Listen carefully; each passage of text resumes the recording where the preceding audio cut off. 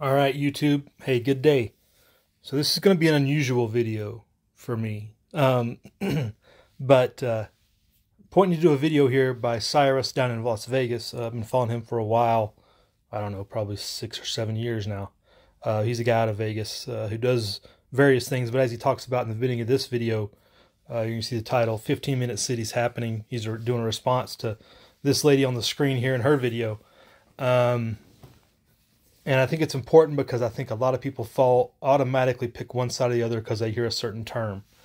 Uh, and this 15 minute cities idea has automatically been tied to uh, Agenda 2030 and everything else. And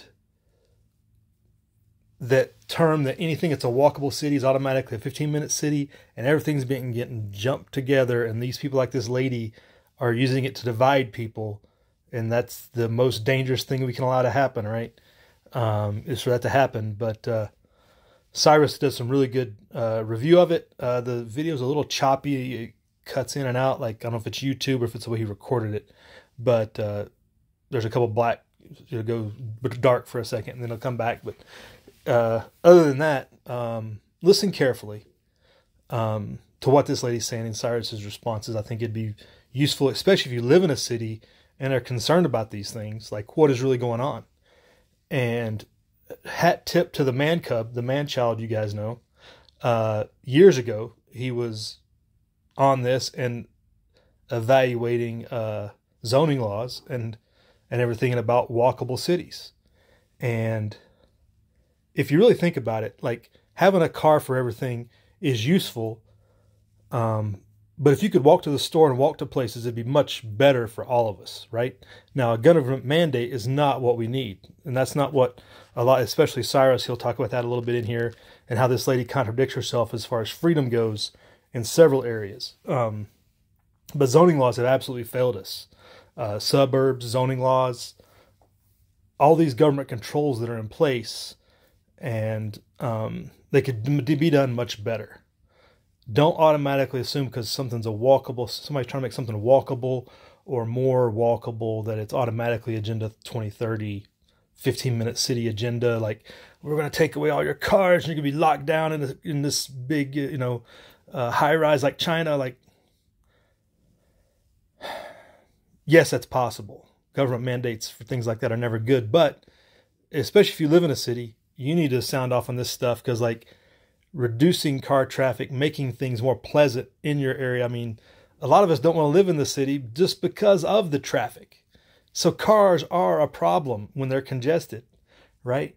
So don't automatically discount an idea just because uh, you know you're you're thinking into one way like all this modernism is automatically good when if we like this lady keeps complaining we're going to go backwards we're going to go backwards no we're going to make it better so that people can commute uh, not necessarily by car, but by bike or walking, uh, which would be healthier for everybody in a lot of respects uh, and safety.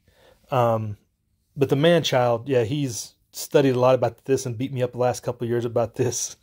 and it doesn't, I mean, I wouldn't say it doesn't affect me because there, there's still zoning regulations in our area that could be much better and could benefit everybody better. But um, there's some point it's a freedom issue if if the people of a city want to have places that are safer for foot traffic and bike traffic, it makes sense. There's a lot of Dutch examples, and the Dutch are uh, some good on some things, bad on others. So a lot of times it's going to be about the execution of it. But especially in suburbs, the way we have them now, if you think about it, like having to drive out of your suburban neighborhood to get to a corner store is a travesty. And zoning laws created a lot of that. People not wanting to live next to a corner store, market. Uh, people can't operate businesses out of their houses. So there's an in between here that people need to really look at, I think, if we want to progress.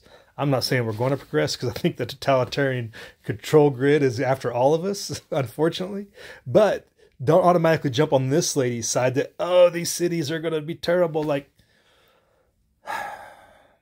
you really got to think uh, about what's going on and what's the agenda, um, and are they really saying and backing it up, and is it really true what they're saying? Because just having more and more cars and more and more roads is not the answer. Uh, we've we've reached peak, you know, vehicle traffic long ago in most of these cities, and it's a miserable nightmare. And people are trying to go places like she talks about. What if you want to drive here? What if you want to drive there?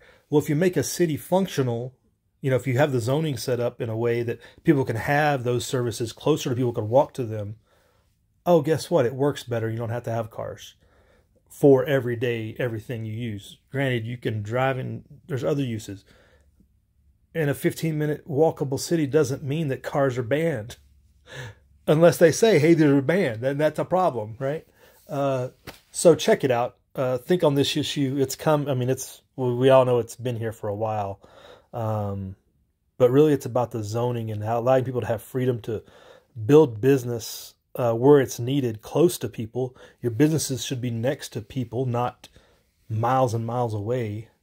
Uh, and that just benefits the big corporations. Because centralized Walmart, centralized Costco benefits from you having to drive there and they don't have any competition in your local neighborhood with a local market or somebody they have to compete with locally because zoning doesn't allow it. Think on that for a minute. Um, so lots going on with that. Uh, again, kind of abnormal for what we usually talk about, but it is about it is a freedom issue, and um, yeah, you don't want to be have a totalitarian. You're locked in your skyscraper in the big city, but you also don't want to have to compete with bumper to bumper traffic every day and not have any services close to your home. So there is a balance. Check out Cyrus's video below. He goes through it point by point with her.